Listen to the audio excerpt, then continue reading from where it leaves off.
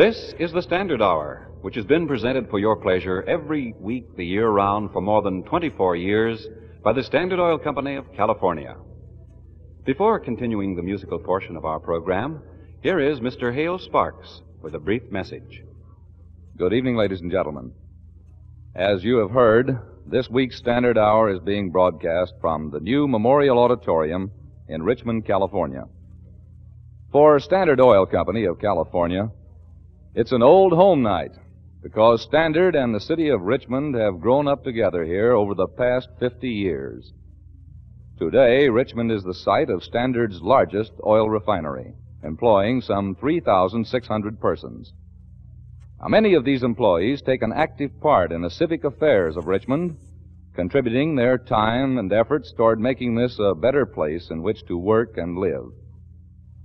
One of the leaders of Richmond city government, in fact, Mayor B.M. Bradley is an employee of Standard's Refinery. And the company itself takes uh, special pride in trying to do its part as a neighbor in community affairs. Now, when I speak of these activities by Standard and its employees, I am not uh, speaking only of Richmond. The principle that a company should be a good neighbor has long prevailed with Standard Oil Company of California. It's a principle applied to all communities in the West. Everywhere we do business, Standard and its employees try to go out of their way to help along a new community project or a worthy fundraising drive. Chances are some one of our employees is a neighbor of yours, and we are sure he is a good neighbor. That's what the company itself wants to be. For an oil company, or for any company, the principle of good citizenship is simple. It is the recognition that each business, as each individual, has an obligation toward his fellow citizens and toward the community of which they all are a part. It's the recognition that if everyone works together, they will be able to accomplish those things which benefit their town or their city. Standard Oil Company of California believes that this is the fundamental obligation of citizenship, and it is glad to serve Richmond or any other community in the role of good citizen. It's part of the job of planning ahead to serve you and our nation better.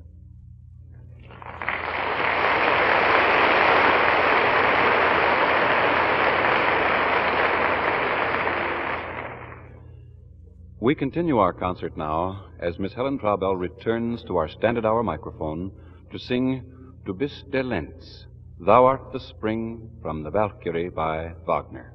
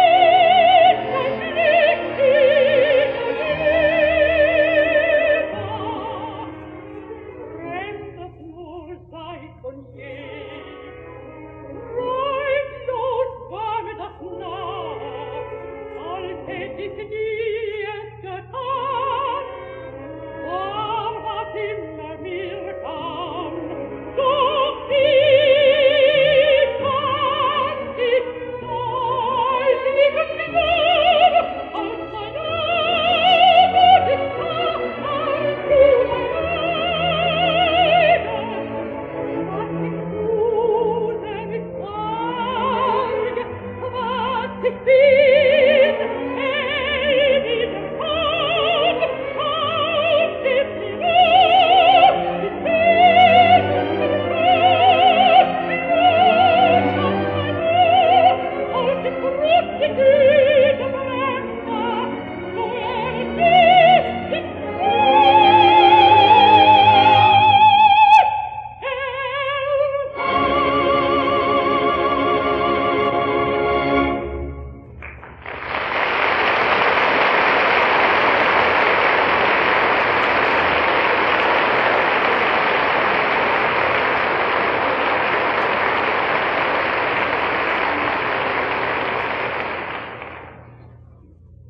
Miss Traubel has sung Thou Art the Spring by Wagner.